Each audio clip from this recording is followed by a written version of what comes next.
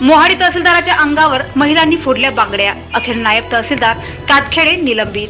तहसीलदाराच्या निलंबनासाठी महिलांचे ठिय्या आंदोलन. भंडारा जिल्ह्यातील मोहाडी तालुक्यात येणाऱ्या शिरसोली येथील आबादी प्लॉट धारक शिवलाल बाबुराव लिल्हारे यांनी दोन हजार बारा मध्ये राहण्यासाठी घर बांधले होते. मात्र राजकीय दबावाखाली मोहाडीचे तहसीलदार धनंजय देशमुख व नायब तहसीलदार कात्रे यांनी आपल्या पदाचा गैरवापर करीत जेसीबी चालविला. ऐन रखरखत्या उन्हाळ्यात प्रशासनाने ही कारवाई केल्याने कुटुंब रस्त्यावर आले आहे.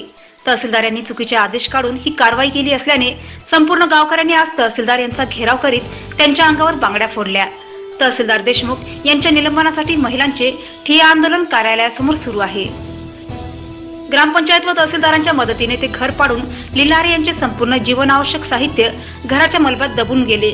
त्यामुळे शिवलाल यांना मानसिक धक्का लागल्याने त्यांना रुग्णालयात भरती करण्यात आले.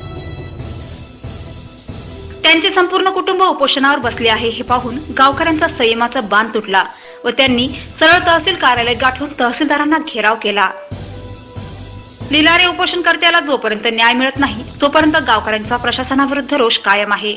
नायब तहसीलदार नवनाथ कातखेडे यांना निलंबित करण्यात आले. यावेळी काँग्रेसचे डॉक्टर पंकज कारेमोरे राजू कारेमोरे रमेश पारधी किरण अतकरी माजी आमदार अनिल बावनकर विजय शहारे सरपंच सदाशिव ढेंगे आदी राष्ट्रवादी व काँग्रेसचे पदाधिकारी उपस्थित होते.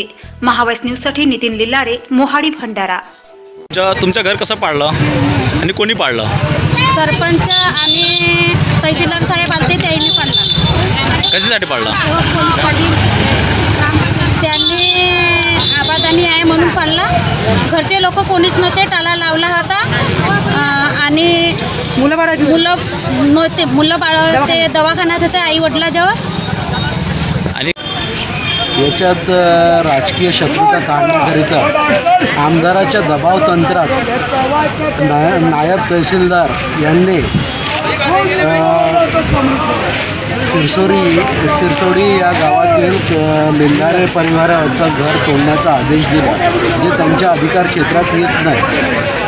आणि या सगळ्या गोष्टीसाठी ते मुलं त्या परिवारातील लोक उपोषणावर बसले ही ही वार्ता आमच्या कानावर पडताच आम्ही लोक त्यांच्या सहकार्यास इथे उतरलो आणि तहसीलदाराचा आणि एस डी ओ साहेबांचा घेराव केला. आणि त्यांना हे मान्य करून घेण्यास बाध्य पाडलं की